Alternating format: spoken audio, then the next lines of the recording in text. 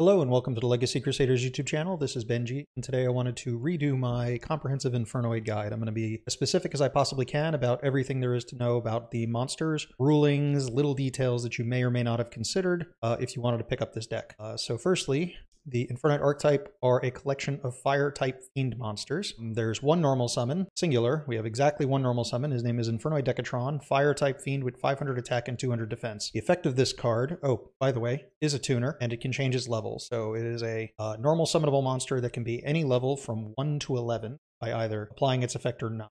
Uh, when this card is summoned, you can activate this effect. Send an Infernoid from your deck to the graveyard other than an Infernoid Decatron. And if you do, increase the level of this monster by the level of the sent monster, change its effect into the effect of the effect monster, and its name into the name of the sent monster.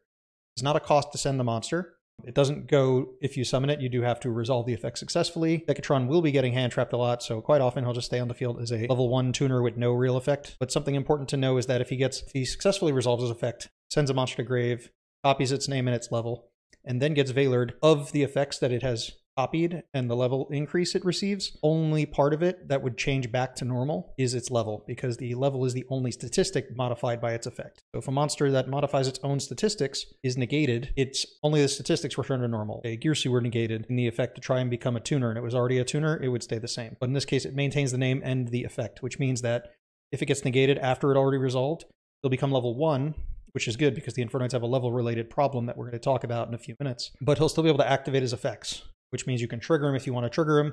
And a lot of the Infernoid effects have costs to tribute a monster you control, so you can still tribute himself. There's a lot of benefits for your opponent uh, or imperming uh, the Decatron after it's already resolved. Uh, what are the possible effects that Decatron could take on? Well, that depends on what monster is sent. Uh, by the way, it says uh, send the monster to the graveyard, and if you do do all these things where it changes its level, name, and effect, so if for some reason your opponent activates Macrocosmos or summons Dark Law, Sent Monster will go to the Banish Zone. And if it goes to the Banish Zone instead of through the graveyard, Decatron won't change its name, level, or effect. On to the Infernoids. There are 10 main deck Infernoid monsters. They're leveled 1, 1 through 10. Levels 1 through 4 we call the Baby Infernoids. They all have a couple of things in common. Firstly, the Baby Infernoids can all be summoned from your hand by banishing one Infernoid from your hand and graveyard. That means a Infernoid just can't be itself. You can't just say, I'm going to summon the level 1 by banishing itself. Can't do that. All four of these have a spot removal effect, and they share a quick effect. And the quick effect that they share is that once per turn, you contribute a monster you control to target a card in your, graveyard, your opponent's graveyard and banish it. Quick effect. So if you had multiple copies of these cards, so let's say I had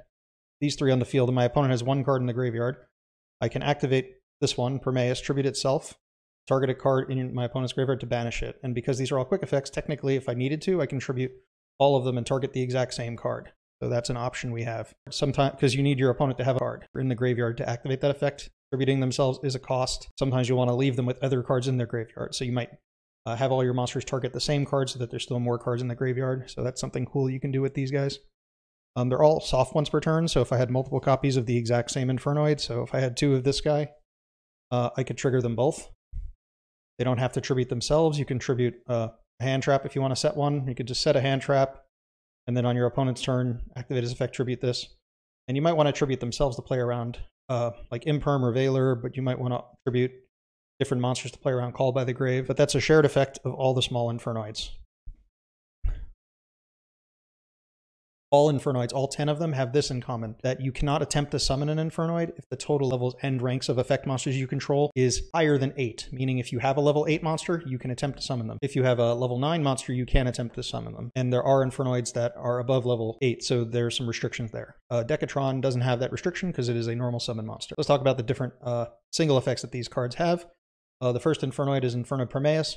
Once per turn, you can target a set card on the field, and then that card gets shuffled into the deck, and the targeted card cannot be activated in response to this card's activation. That should sound similar to the Night Beam. If you target a like a set back row, your opponent can chain like a different card and then flip the chained card, so they could play around his effect somewhat. Unlike a card like Night Beam, Night Beam says target a set card. That card can't be activated in response. Destroy that target. So if the card gets flipped up, it's no longer considered that target. It just says target it. So if you target a set card and they manage to flip it, of like chaining another card, then chaining the targeted card. If it were a card that wasn't going to go to the graveyard at the resolution of the chain, it will get shuffled to the deck. So if it was like a floodgate or something, it'll flip face up, resolve, and then get shuffled into the deck afterwards. So it can target monsters. So this card's pretty solid against things like Subterror, Shaddolls, Frogs, anything that might set a monster face down.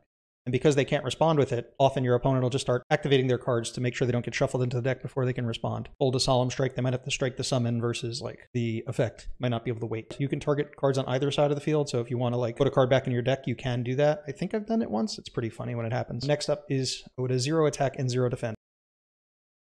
Antra has zero attack and 2000 defense once per turn. Both of the all the effects of these small ones are once per turn during your main phase. They're all soft once per turn, so if you summon multiples, you can use them each once. So Antra has the effect to target a face-up card in your opponent's field and return it to their hand. Good for things like Thunder Dragon Colossus, uh, Dingirsu, um, any card that can't be destroyed but can be targeted. You can use it as a out to a floodgate if you need to at the time. Its level is not great for play at the moment, and most cards currently can be destroyed. And another thing to mention about both Antra and Prometheus is they can attack the turn they activate their effect. Talk about the level 3 and level 4, they can attack the turn they activate their effect. So um, if you normal summon Decatron, you can copy their effect, activate their effect, remove a card from the field, either return one to the hand or shuffle one in the deck, and then you can still attack with your 500 attack Decatron. Antra can return an opponent's card to the hand. You can't target your own face-up cards, so just so you know, you can't like play a Floodgate and then return it to your hand later. Uh, so next we have Infernoid Harmadik, 1600 attack, level 3, 0 defense. Once per turn, you can target a monster on the field and destroy it, but it can't attack the turn It activates that effect. But that means if the activation is negated by something like Apollousa Bow of the Goddess, he can still attack. So, and then the level 4 Infernoid is Patrulea. Once per turn, you can target a spell or trap card on the field and destroy it. That includes your own cards. Harmadik can target your own monsters. You might want to play a Floodgate and then pop it with Patrulea. I do that all the time. That's very common. Patrulea, 1800 attack points and that makes a massive difference with why it's so much better than Becker is also usually the kind of thing you want to try and push through before you go into your battle phase. Although the Harmadik is important for having outs for Floodgate monsters in your deck, like uh, Vanity's Fiend or Barrier Statues, so it's important to play both. Next, there are the medium-sized Infernoids, the uh, we'll call them the, the teens. The little ones are the babies. These are the teens. Uh, level 5, 6, 7, and 8. They are similar to the small Infernoids in that you have to banish some Infernoids from your hand or graveyard to summon them. In this case, we will be banishing two Infernoids from the hand or graveyard, and that is collectively. So you can do one from hand, one from grave, two from grave, or two from hand. Obviously, more free Infernoids you can get into your graveyard, the better it is. They all share the quick effect that the small Infernoids have during your opponent's turn to target a card in their graveyard and banish it by tributing a monster you control. You don't have to tribute themselves, they contribute anything. Um, soft ones per turn, you can do it on their turn. Unlike the small ones, the these Infernoids, the 5 through 8, they can do it on your turn as well. So it's a quick effect you can just use on both players' turns. So you can just, if you get enough Infernoids in grave, you can just keep summoning them back and then tributing themselves off or tributing something else off and targeting cards in your opponent's grave and just keep banishing them. So this deck just banishes everything. All four of these Infernoids happen to have a battle related effect. Now the battle related effects are all really good and I want to address them all individually. So firstly, uh, 5 Piaty. And just because I didn't really mention it earlier, if Decatron were to send Piaty to grave, it would become level 6. So that makes Decatron good for any kind of Synchro or Z, because you can make any level. Also, Decatron's a tuner, so you can use it to make Crystron Halqifibrax, which is usually what I do with it. So Piaty is a level 5 fiend with 2200 attack and 0 defense, fire type. If this card inflicts battle damage by attacking a monster, you can make your opponent send one card from their hand to the graveyard. Decent effect if you can't kill your opponent. No one plays this card. Um, it's not bad, it's just its level doesn't really interact well with one of the Void Spell or Trap cards, which we're going to talk about in the next episode of the Comprehensive Guide. So we'll talk about why the level 6, which is a trash card with a way worse effect, sees more play than almost every other Infernoid. When it inflicts damage, take a card from your opponent's hand and send it to the graveyard. It is random, though, so you don't get to pick the card. Uh, next is Sjette, the most commonly played Infernoid after Decatron, because Decatron is the toolbox. Everyone plays a lot of Decatron, but Sjette is played because it goes with a trap card called Void Feast, where you try to summon two Decatrons with Sjette, because it summons Infernoids whose total level is 8. So 6 plus 1 plus 1 is 8. Then a Decatron send two Infernoids, and you get 5 Infernoids. The best effect of Decatron is sending cards from the deck to the graveyard. Sjette is played to maximize Void Feast in order to get the most value out of that. So Sjette's effect is, when you declare an attack with Sjette, you can activate this effect. Your opponent banishes one card from their extra deck. Sounds decent, is garbage. Reason being, they pick the card. Now, every once in a while, your opponent will pick a card that they actually need. If they do that, awesome.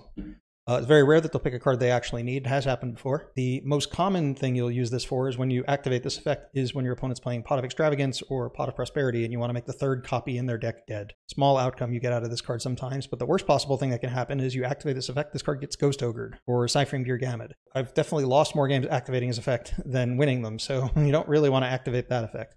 Still has the tribute uh, DD Krolik effect. He's got 2400 attack, so that's a better attack stat than Piaty the level 5. Usually you can make Decatron into like the level 1 Infernoid Prometheus to make it level 2, and then use Sjette and go into like level 8 Synchros like Savage or PSY-Framelord Omega, very commonly played in the Infernoid deck. So it's not that bad, but it's not great.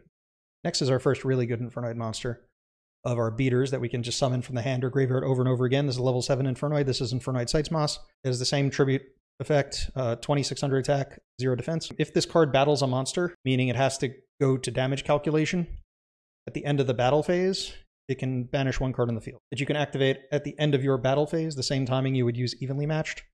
If this card manages to battle a monster, go all the way to damage calc, and live. So Seitsemas has problems sometimes being able to attack into monsters. So one of the tricks for that is you can try and make Seitsemas attack into defense position monsters, or you can play a card that might make it so he will survive a battle, like summon a Fiendish Rhino Warrior. Now Fiends can't be destroyed by battle. Or you can activate a safe zone, I think I used to play way back in the day. Make it so he can attack into things and then not die.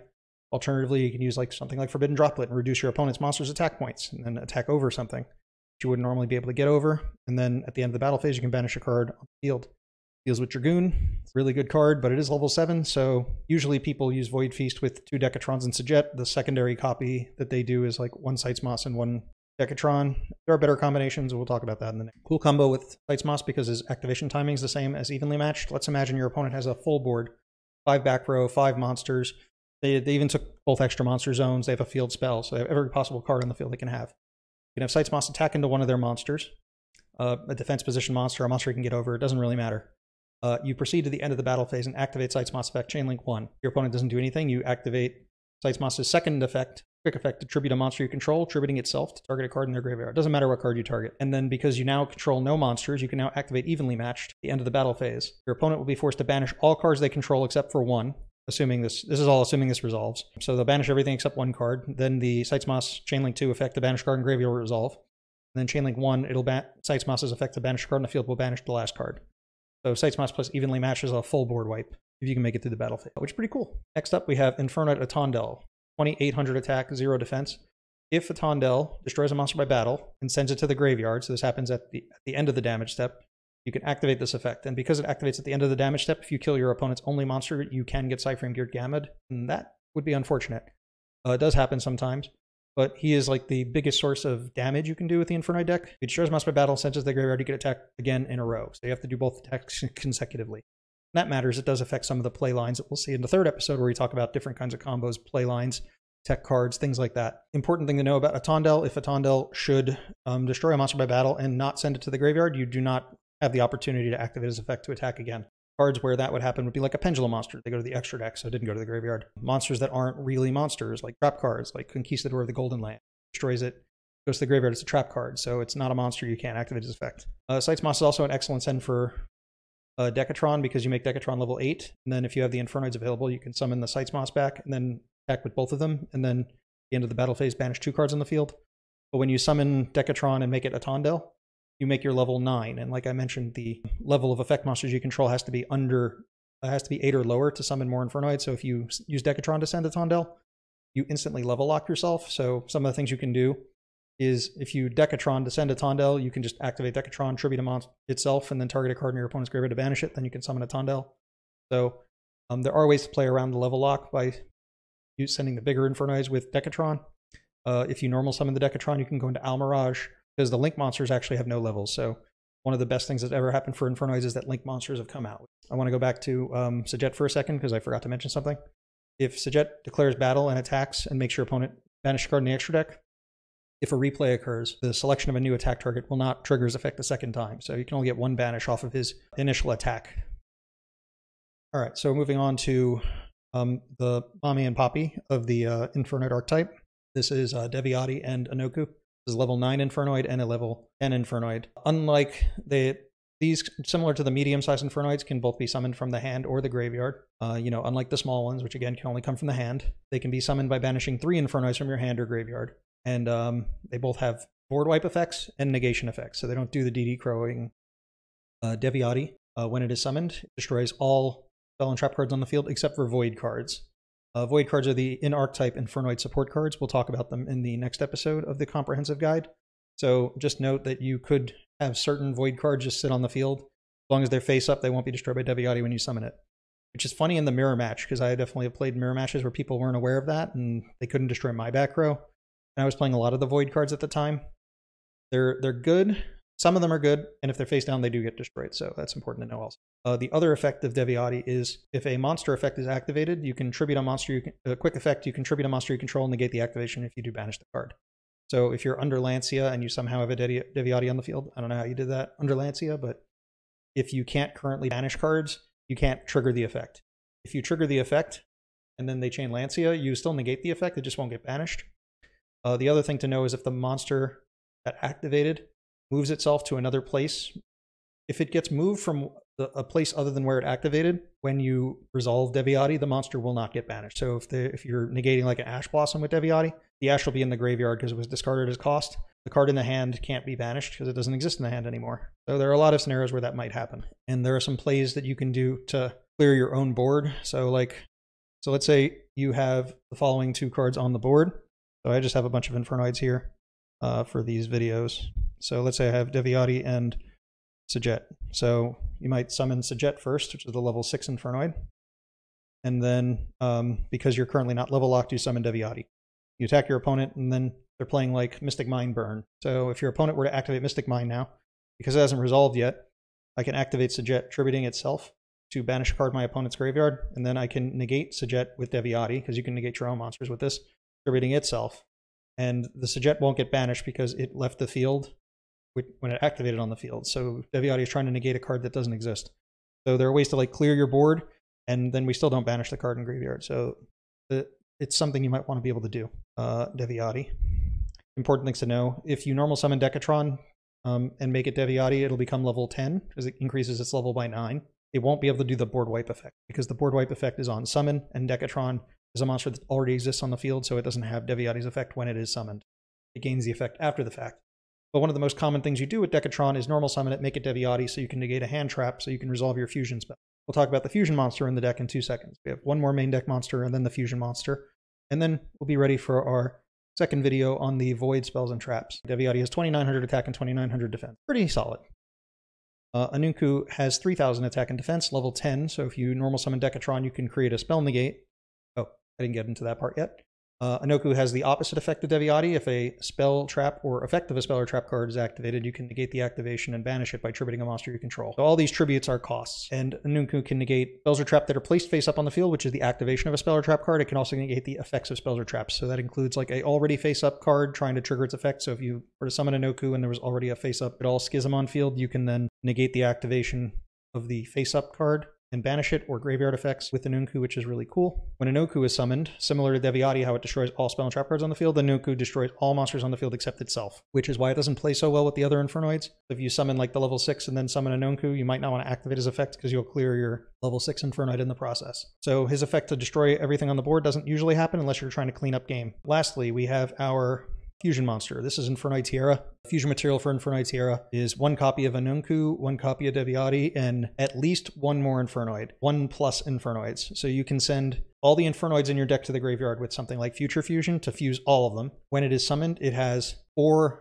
pieces of an effect. So it has one effect that activates when this card is summoned, depending on the number of Infernoid names used for the fusion summon, will allow you to trigger certain effects. So firstly, I'm going to discuss a minor ruling thing. Most people, like I said, when they resolve Void Feast, our trap card we'll talk about next episode, they summon Sjette and two Decatrons, and the two Decatrons generally copy one Onuncu and one Devyaty. So that's three Infernoids, including one Onuncu and one Devyaty, and then they have a Sjette. That is the fusion material for a Tierra. So if you're playing in the mirror match and someone does that, you can activate Super Polymerization and fuse all three of those into your own Tierra. But you won't be able to activate Tierra because the required number of monsters of different names to use with Infernoid Tierra's first part of its effect. So on summon, if you use three different Infernoid names, the effect is both players send three cards from extra deck to the graveyard. And there's a lot of excellent cards to send. You can send Elder Entity N'tss, Cyframe Lord Omega. If you're playing a Shaddoll engine, you could play El Shaddoll Apkallone. If you're playing a Frog engine, you can send um, Totally Awesome. You can, if you're playing a Tri Brigade engine, you can send uh, Shuraig, the Ominous Omen a lot of great cards to send. Your opponent gets to send them as well. So this is both players do these things. In the scenario I mentioned with super polymerization,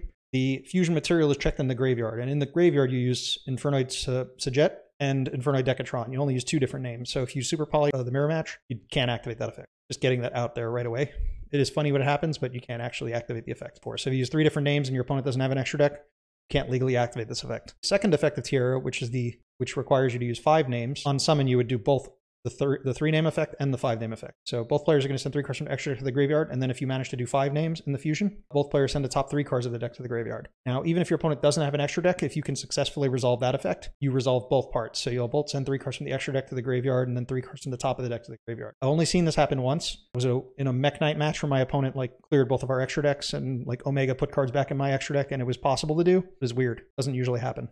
So as long as one of the effects can resolve, the entire thing can resolve. Now, you might not even want to use the five name effect, which you can avoid doing by using duplicate Infernoids. Like you can use uh, two Deviatis and an Onuncu to use two different names, or you can use an Onuncu, a Devyaty, and like three Decatrons to reach the three names, but not the five names. Reasons you might do this is you might not want to get Ash Blossomed on the Tierra, which is important. Tierra is a level 11 fusion monster with 3400 attack and 3600 defense. I, I, know it sounds like we're using a lot of monsters for these fusion materials, but one you can fuse with, fuse with Future Fusion, and we have an in archetype fusion spell called Void Imagination, which allows you to use six materials from deck. So usually you use six materials. Usually you use six different names, but you get effects for three names, five names, uh, eight names, and ten names. And so if you on summon use six names, most likely you'll and you choose to activate the effect because it's optional. Every effect of every Infernoid monster so far has been optional. So when Tierra activates and we use six names, we resolve the three name effect and then the six name effect in one chain link. If you wanted to use the eight name effect, the eight name effect is both players return three banish cards to the graveyard. Usually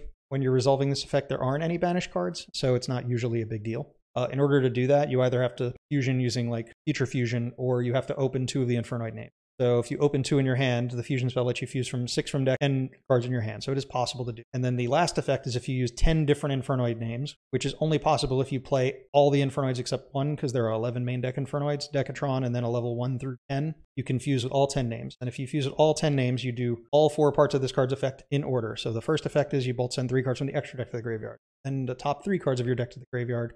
Then you return three banish cards to the graveyard, and then the last effect is both players discard their hands. All four of those things would happen. And because you're fusing on your turn, pretty much when you set up to fuse, you can just set your cards and then your opponent will just lose their card. So you either have to use the fusion spell that uses six cards from the from the deck with four cards in your hand that are all different names. So I think I've done this live like once or twice ever.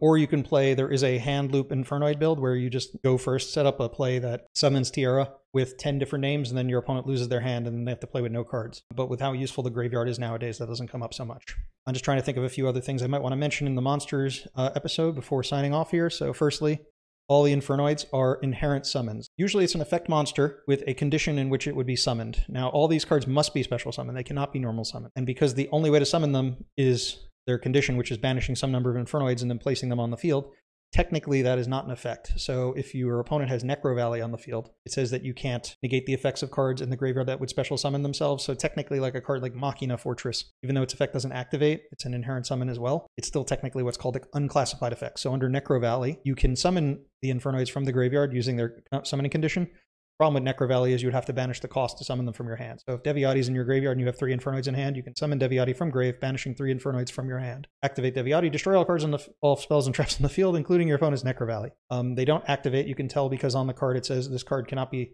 uh, normal summoned. You must special summon this card. It says in parentheses on the card from your hand or graveyard. Whenever you have a card that says uh, from your hand or from your graveyard or from wherever it would be special summoned from in parentheses, that is a sign that is a non-activated effect. Now, because these can't be normal summoned, technically they're not actually effects either. Hope you guys enjoyed um, learning a bit about Infernoids. I will see you guys in part two when we talk about the void spells and traps.